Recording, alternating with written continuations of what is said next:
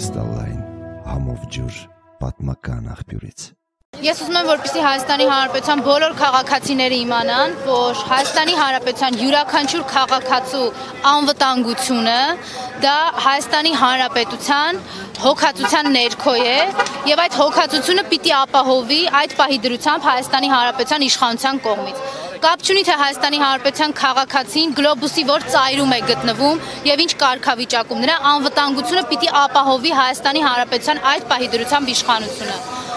Եկեք արձանագրենք, որ Հայաստանի Հանրապետության քաղաքացիները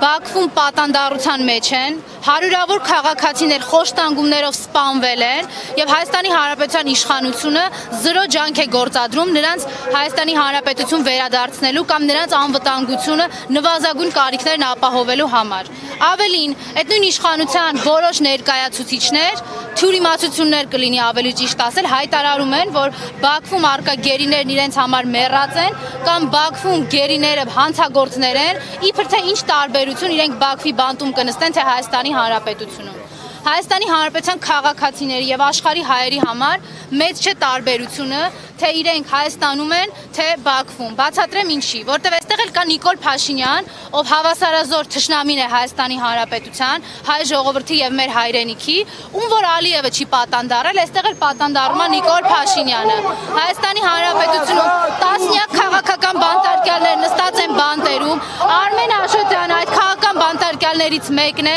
Նարեկ Մալյանը, Մամիկոն Ասլանյանը, Նարեկ Սամսոնյանը, Վազգեն Սաղաթելյանը, այն արցախցի երիտասարդներն, ովքեր իրենց տունը պաշտպանելու համար հանրապետության հրապարակում էին, իրենք էլ են կալանավորվել Նիկոլի կողմից եւ շատ այլ քաղաքացիներ ճշմարտությունը ասելու համար, հայրենիք ունենալու խոստովանման ու ցանկության համար Նիկոլի կողմից բանտարկվել են։ Սա այն իրականությունն է, որը պետք է իմանալ։ Մենք ընդհանրապես իրազեկում ենք, շատ անկեղծ ասեմ, որ ոչ Եվրոպայի խորհրդից, ոչ այլ միջազգային կառույցներից ավելին չենք սպասում, որտեղ իրենք շատ լավ գործիքակազմ են ընտրել։ Ասում են, որ Նիկոլ Փաշինյանի հանցագործությունները չեն տեսնում, չեն լսում, Ալիևի հանցագործությունները չեն տեսնում, չեն լսում ու պատրաստ չեն դրա մասին խոսել։ Բայց ուզում եմ, որ իրենք իմանան, որ հայ հասարակությունը այս իրականության հետ հաշտ չէ եւ այս իրականությունը փոխելու համար մենք ամեն ջանք գործադրելու ենք։ Տիկին Կշան, իր զեկվածության պակասն է, որ լռում է Եվրոպան, այդ թվում Բաքվում պահվող հայ քաղբանտարկյալների վերաբերյալ, թե այլ խնդիրներ կան, օրինակ պոլիսային պայմանավորվածություններ, որոնք